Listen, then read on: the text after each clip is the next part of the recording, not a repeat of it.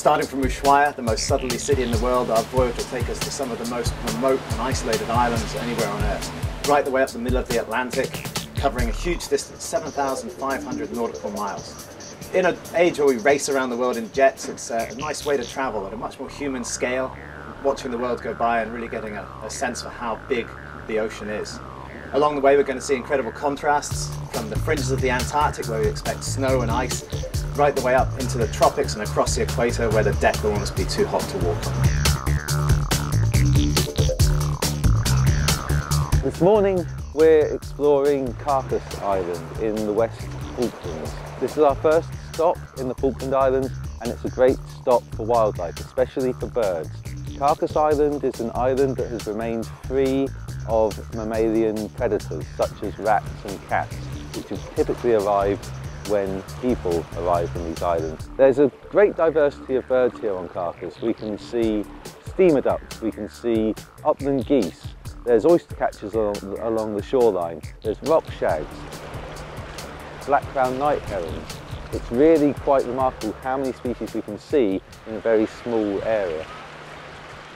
Here on West Point this afternoon, we've travelled across the island and visited a colony of rockhopper penguins and black-browed albatross nesting on the cliffs above the raging South Atlantic Ocean this afternoon. Some very windy exposed sites, but these are the sites that the albatross just love. It makes for great flying for them, for easy landing and for takeoff. The rockhopper penguins, tucked in among the albatross nests, are just beginning their molt at this time of year. They finished breeding, they'll come ashore, they'll spend two or three weeks standing in one place, undergoing a catastrophic molt.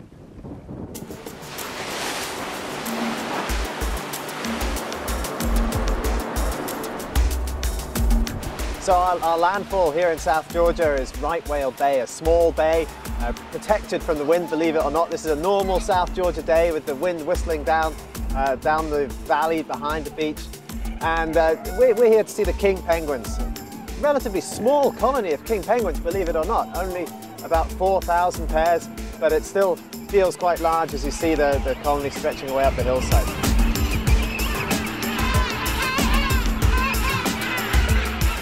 I think it's just overwhelmingly magnificent. I've never seen anything like it. I love it. The color and the action is just marvelous. well, it's a place, South Georgia's a place I've been eager to see for 37 years since I read Alister Hardy's Great Waters. And our first landing is certainly not disappointing. Spectacular terrain, just highlighted the perfect dusting of snow, some of which we got while we were ashore. This fabulous colony of kings, uh, and you know the never dull antics of all the fur seals. It's beyond spectacular. This is the most amazing place I've ever been in my entire life. I've never seen anything like it, and even though I've seen photos of this place, until you're actually standing right here among these guys, it's had no, I had no concept.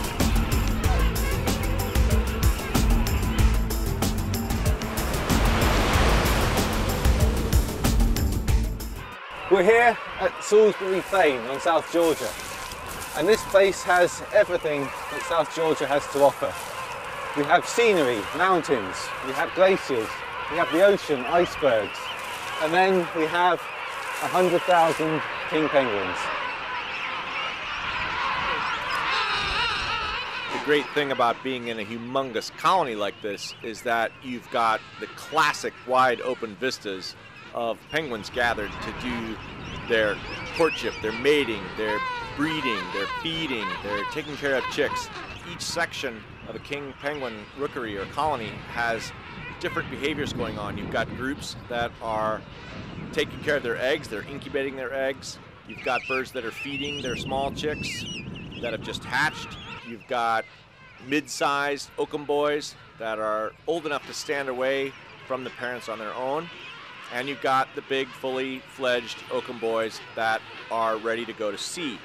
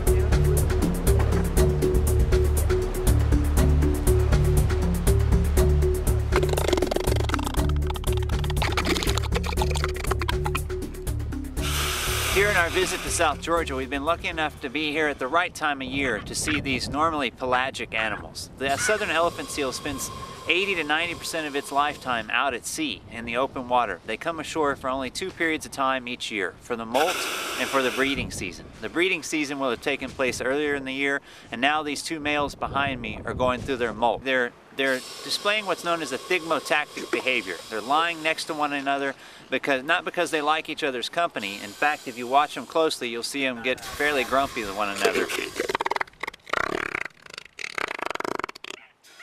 But the reason being is because the heat generated from the extra friction of them lying together speeds up the molting process and expedites the whole procedure so they can get back out in the open ocean faster.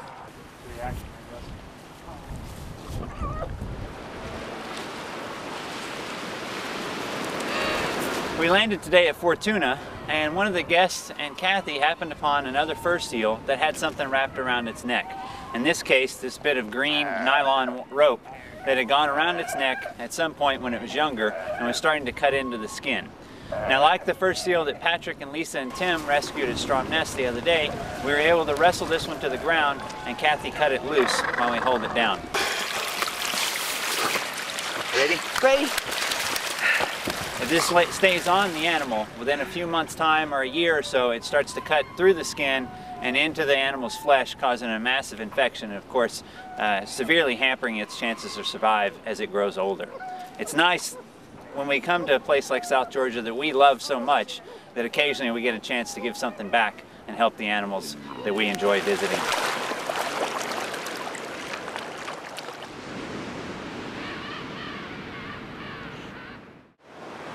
We have arrived in Tristan da Cunha and we've all managed to land here, which is no mean feat, the most remote island community in the world, situated somewhere midway between South America and Africa. Uh, we're actually closer to New York than we are to London at this point. And there is a lively community here who we're about to meet.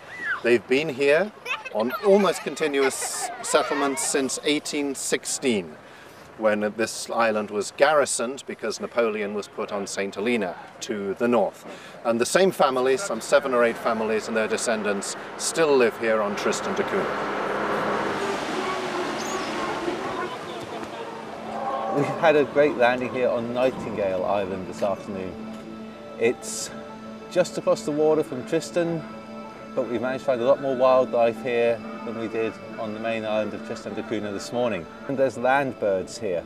There's the Tristan thrush and the Tristan bunting. Both very approachable, easy to see, and they're both endemic to this archipelago. That is to say they're found here, nowhere else in the world.